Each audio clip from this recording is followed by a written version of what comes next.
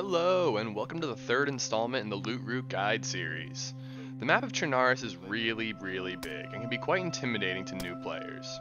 You can see the small red box, which is about the size of your average Call of Duty map, and the larger orange box, which is about the size of the average Battlefield map.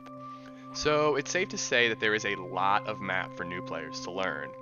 This series is intended to help you new players learn the map by helping you figure out where the hell you spawned, what important areas you should loot, and then where you should go from there. For this installment, we're going to start off in Elektro, a large city in the southern portion of the map, and work our way west to Zelenogorsk, which is another large city that has become a pretty active PvP zone. This route takes you through a lot of interesting towns, some small military camps, and several larger military bases. I'll also be continuing this loot route further north from Zelenogorsk in another video, so make sure you subscribe in order to see that one. Elektro is a large town with a lot to offer. If you spawn here, there are a lot of different directions you could go. You'll know you spawned in Elektro by spotting the large dock area on the coast, these two solitary apartment buildings, or the church up on this hill.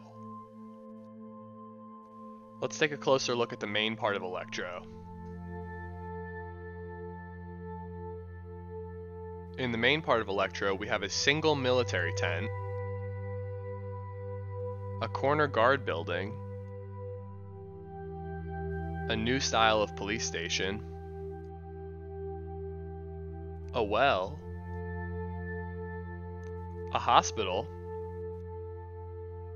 and a fire station. Now we're quickly going to zoom in on the industrial part of Elektro.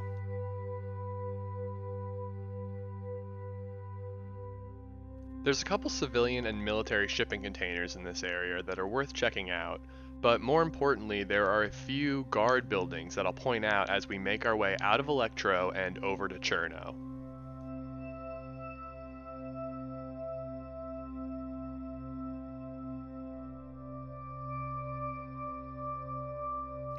Here's one, but we're going to go past it and then make a right at the large office building.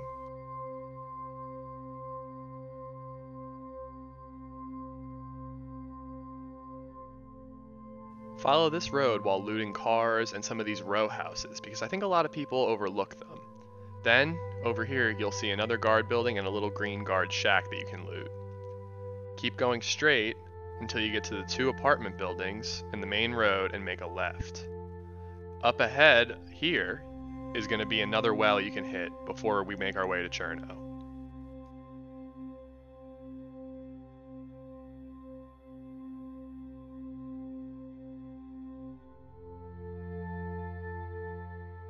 There's one more guard shack to the left of this gas station. Now let's make our way to Cherno, and we'll fast forward a little bit. Run from Elektro to Cherno is a long one, and there's not a lot along the way. The only real place you could find food and water is on the boats on the coast, so make sure to check those out.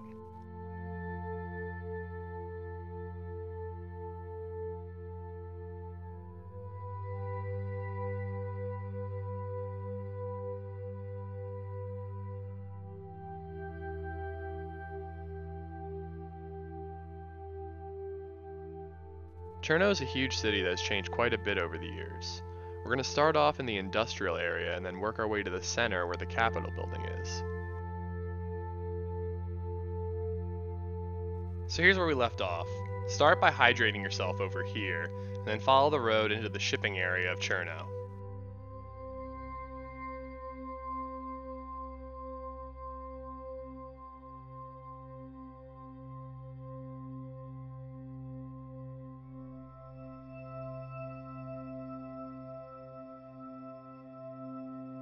Once you get to this green guard shack on the left, make a left into the shipping and industrial area of Cherno.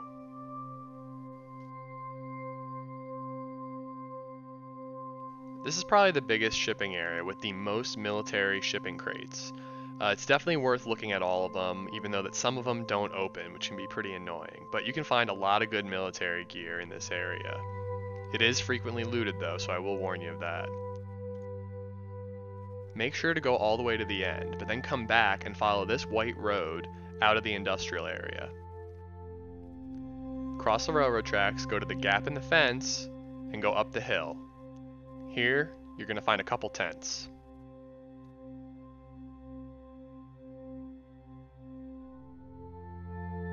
And by a couple, I mean two tents and one of the camo net buildings. Go out the other side and dip down to this little valley to the right, and make your way to the main road.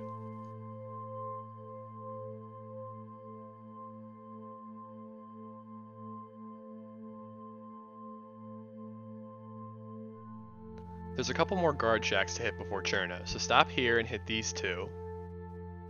Then keep following the road.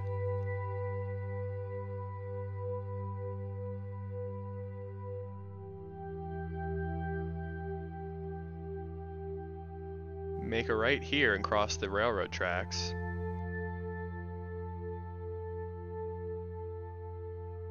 And stop by this last guard shack before going into the main part of Cherno.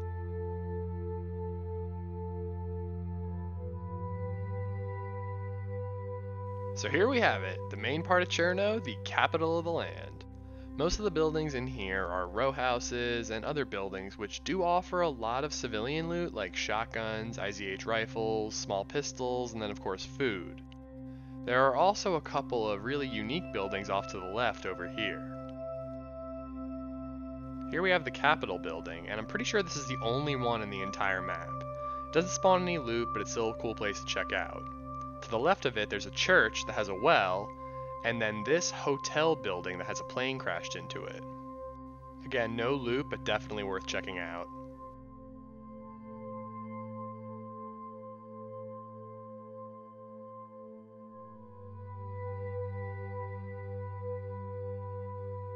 So here's where we left off. Keep following the road from that last guard shack we looted, and then make your way into town. Cross this bridge and then make a right. And then make your first left. At the green piano building, make a left. And then quickly loot the new police station. We're going to want to back out of there and just keep going the way we were going.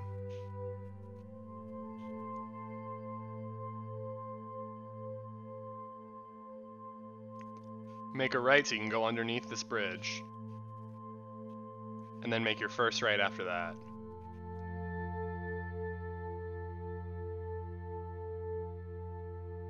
We've got the hospital over here on our left, but we're going to go past that just to hit one more guard shack. Back out of there, and go back to the hospital. Loot the hospital, and from there it's pretty much a straight shot looking straight ahead to get to a second police station, one of the old yellow ones. Uh, just for simplicity's sake though, we're going to follow the road.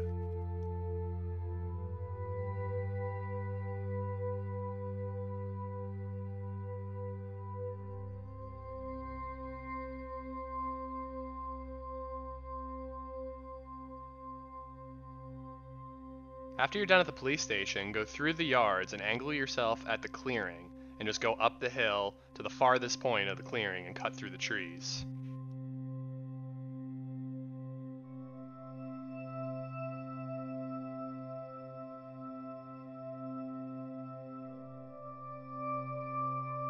This will take you to another set of military tents. While looting this area, you're going to want to take extra special care to look up the hill for snipers. There's also uh, what they call the glass factory over on the left over here. People can shoot you from there as well, so be careful. Now we're going to follow the road and make our way to Balota Airstrip.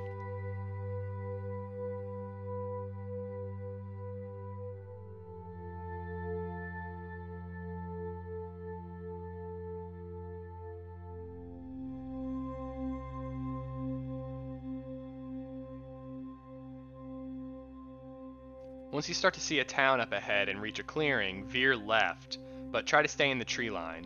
This is going to cut you across into the Balota airstrip.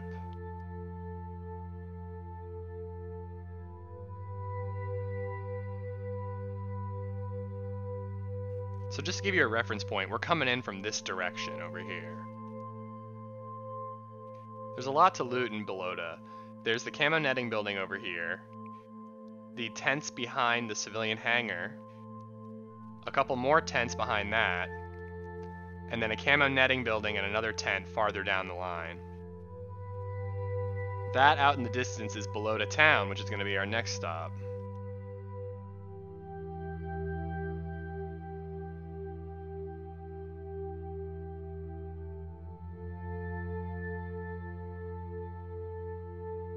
You can loot around town for civilian loot and food, but the only really interesting thing here is the well.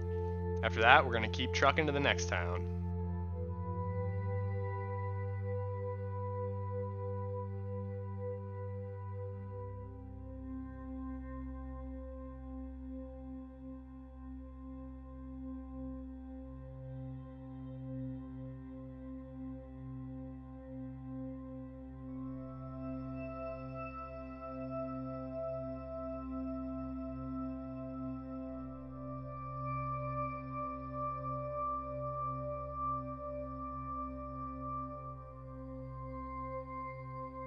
This here is Komarovo.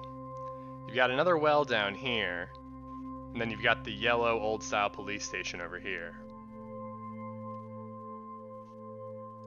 We're going to follow the road west to a one of a kind spot on the map.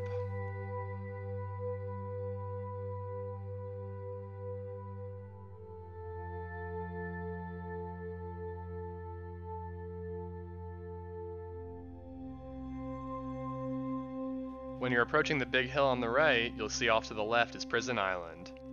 Now, since the introduction of stamina, I haven't actually made the swim out here. Uh, I hear it can take quite a long time, but it's definitely a cool little place to check out if you've never been there before. I would definitely recommend at least going there once.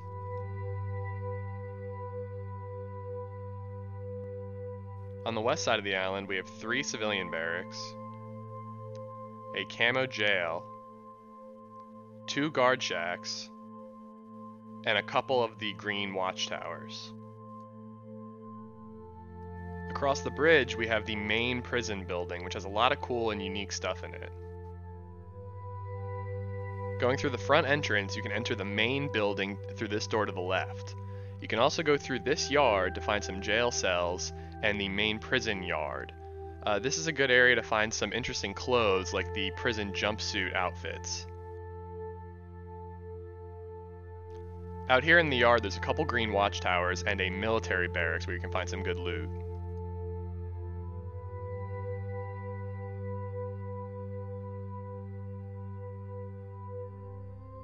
This is a shot of the inside of the main prison building. There's obviously a lot of jail cells, and you can find some clothes and some other military gear around here. It's definitely a cool place to check out, just explore a little bit, and see some unique structures, because, you know, a lot of the stuff in the DayZ map can get a little repetitive, so something unique like this can be a lot of fun to look at. Now, back on the mainland, we can keep following the road west to Kamenka.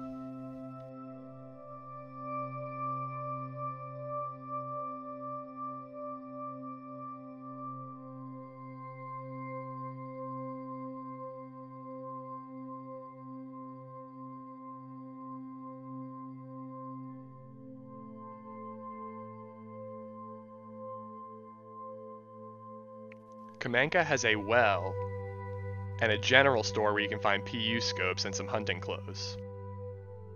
Now, if you'd like, you can head north on this road to make your way to Pavlovo military base, but we're going to make one quick stop before that. Now follow the road west out of town to make your way to the Kamenka military base or the southwestern evac point. I've heard it referred to as both of those names.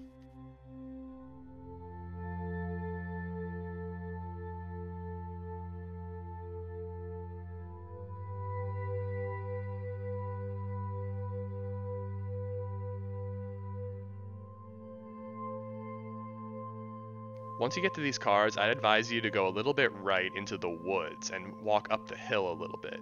This is going to be a safer way to approach the base and it'll give you an opportunity to overlook the sniper positions.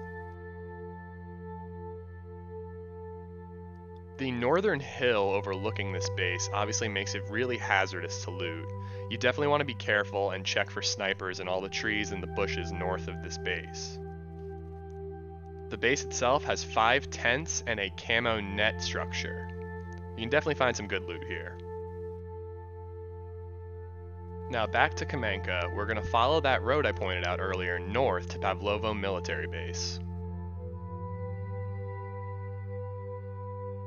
Now if you remember earlier we were in a town called Komarovo, which was before the prison island.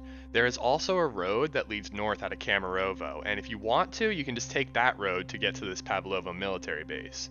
Uh, obviously you're skipping a couple towns and a couple other cool areas, but it is a shortcut to get you to Pavlovo military base and then Zelenogorsk a lot quicker.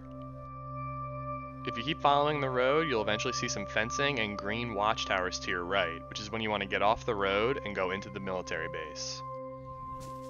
To show you this base, we're going to do things a little differently, and we're going to follow this character. Go in the base through the gap in the fence that you saw, and first loot a couple of these green watchtowers and this guard shack right here. Then, make a left and make your way up the rock area, trying to be as stealth as possible. This is an area where a lot of people like to snipe from, and it's going to give you a good overlook of the entire main part of the base.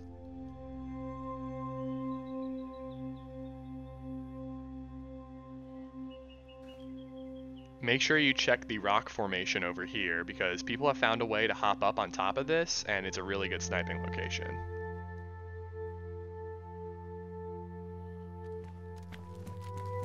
Once you feel it's safe enough to enter, head down into the base.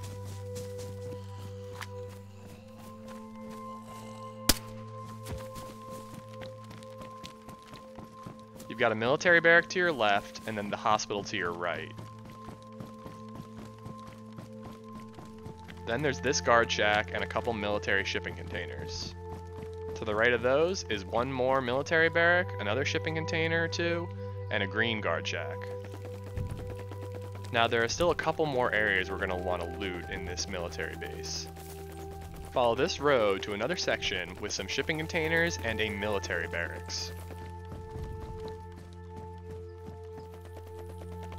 You want to exit this area through the gap in the fence over here.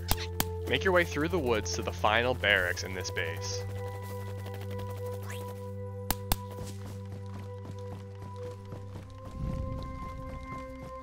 You can follow this road to a couple shipping containers and another guard shack.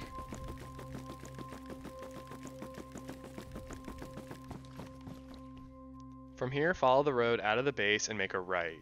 It's going to be a short trip to Pavlovo town.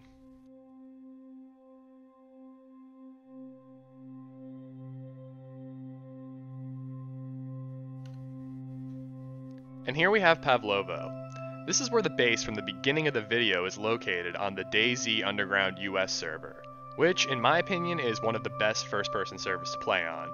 In case you don't know, it has a bunch of groups and factions that claim certain territories on the map and can make for some really, really fun encounters.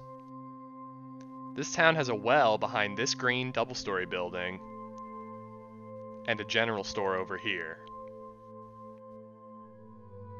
Now we're going to make our way to our last stop for this video, Zelenogorsk.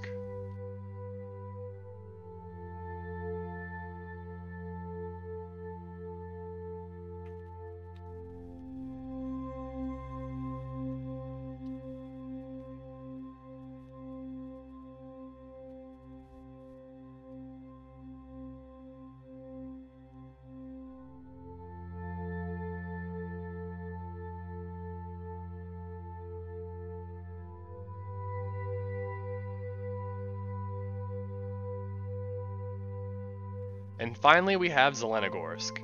This town is really active due to the large military base that has lots of shipping containers and multiple buildings for military loot. I'm going to cover this town in depth and show you how to continue journeying north from here in the next video, so be sure to stay tuned for that one.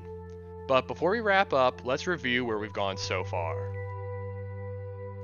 We started off our journey in Elektro, and then made our way west into Cherno. After looting around, we stopped at a small military area to the north and continued into Balota airstrip and town. We followed the road west to Komarovo, swam south to the prison island, went back to the mainland and west to Kamenka, and the military evac point even further west. After backtracking back to Kamenka, we went north to the Pavlovo military base and then the town itself. Finally, we kept going north to Zelenogorsk, which is where we will pick things back up in the next video. Alright, well thanks so much for watching everyone. Later this week I'll be releasing a PvP video called The Backpack Bandit, so be sure to subscribe to see that. I really think it's going to be a fun one, so definitely check it out. Hopefully I'll see you guys then. Until then, take care.